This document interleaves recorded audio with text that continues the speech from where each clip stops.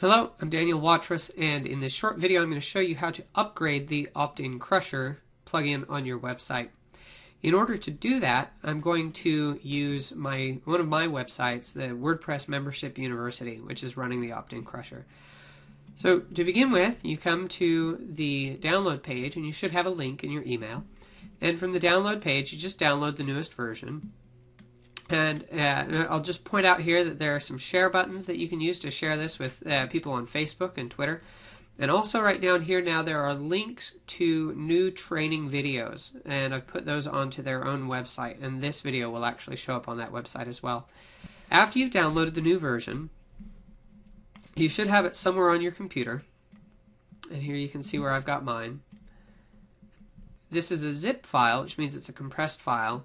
And in Windows, if you right click on it, there should be an option that says extract all. I'm sure it'll be similar on a Mac. I, I usually get rid of this last uh, folder so that the folder name isn't the name of the file itself. And then you just click extract. And that's it. So now you've got all of the Opt-in Crusher files right here. So next, let's come over to my test website and we go into the dashboard. And a couple of things are going to change, so I want to point these out. First is that under settings, right now, there's an option that says WP Opt-in Crusher. This is going to change to say simply Opt-in Crusher in the new version. There will also be a few changes back here, but I'll, I'll leave a lot of the, the training for the new features back here to the new videos. So what you want to do then is, and, and unfortunately for an upgrade, you do have to use FTP, but it's really not that hard.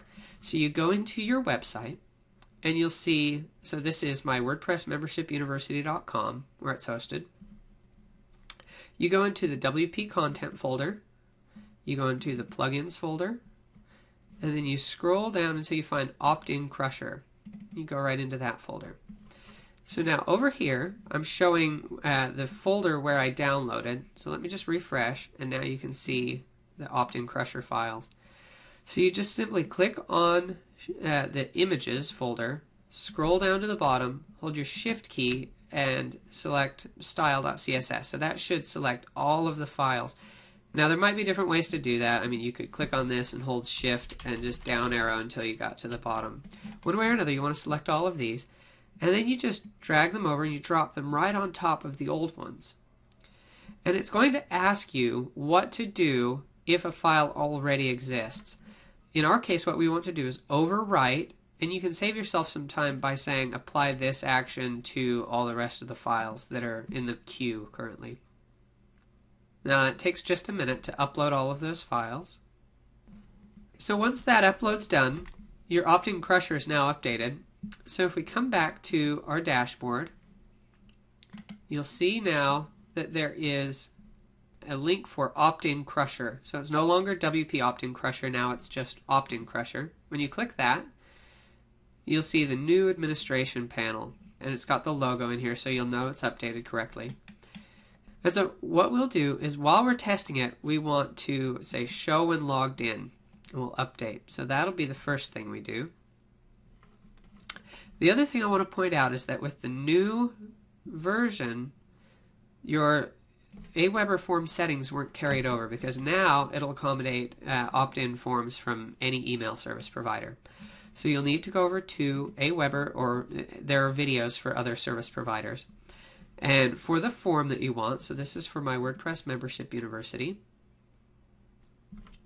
I come over to publish, I will install my form, raw HTML, select this entire form, the raw HTML version, paste it in here. It works its magic. And the only thing I do with Aweber is in order to keep track of how many impressions are shown, I copy this little bit here, which is the mechanism they use to keep track of how many times the form is shown.